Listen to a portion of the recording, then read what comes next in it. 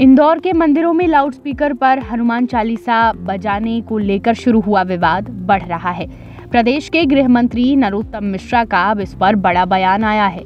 उन्होंने कहा कि सभी को धार्मिक स्वतंत्रता है।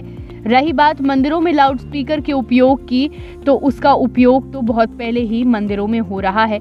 कहीं कोई रोक नहीं है।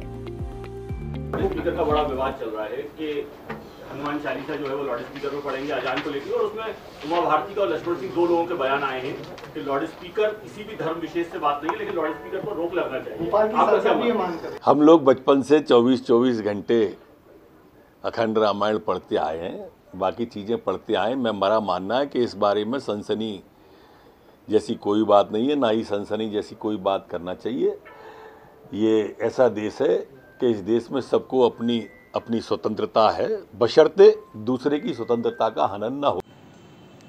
Central academy primary school Deendayal Dham colony Padhra invites admission for session 2022-23 from nursery to class seventh grab the opportunity of free registration from nursery to class first and cashback of rupees two thousand five hundred for first hundred students seeking admission in class second to seventh Brought to you by Little Hands.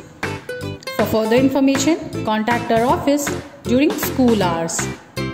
The earlier you start working, the earlier you'll get result.